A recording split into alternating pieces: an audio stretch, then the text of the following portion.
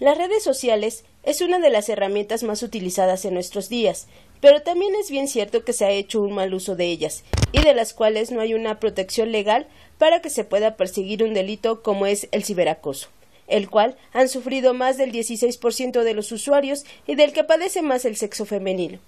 Actualmente, el promedio del uso de las redes sociales en México es de más de ocho horas, por lo que es una vía vulnerable al acoso digital y los estados donde más prevalece es en Tabasco con 22.1%, Veracruz con el 21.8%, Zacatecas con 21.4%, Guanajuato 20.3%, al igual que Aguascalientes, del 73% de beneficiarios. Ciudad de México no se queda atrás, pues ha recibido 957 denuncias, de las cuales solo se procesaron aproximadamente 34 pero para seguir el juicio, las autoridades tuvieron que catalogarlas como otro tipo de agresión y no como acoso por Internet o violencia digital, ya que no está tipificado como delito. Lo más grave es que esta cifra sigue creciendo. Y nuestros representantes han hecho caso omiso para atender este problema. Ni siquiera el partido que gobierna lo considera en sus reformas que tanto presume.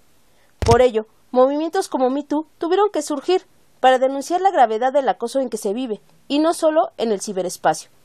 consecuencia de que no se confían en las jurisdicciones y tampoco en las leyes, porque no se tiene una regulación del uso y contenidos de Internet, y que pueda ayudar a procesar estos delitos, ya que las instancias jurídicas desestiman la acusación, por solo contar con una fotografía como prueba. Además que el presidente Andrés Manuel López Obrador consideró que la atención debe ser por medio del Instituto Nacional de las Mujeres, y no por las instituciones que nos rigen de manera jurídica, contradiciendo en cuanto a la protección y seguridad que necesitamos frente al acoso evidenciando que no somos prioridad en su gobierno conservador, y por eso las reformas a las leyes para atender estos temas no son de su interés. Ojalá alguien de su gabinete, especialmente las mujeres que encabezan algunas dependencias, le ayuden al señor presidente en recapacitar, ya que la violencia y el acoso que sufrimos las mujeres es tema prioritario que tiene que resolver de manera urgente, además de que las mujeres somos una pieza fundamental en el desarrollo de una sociedad.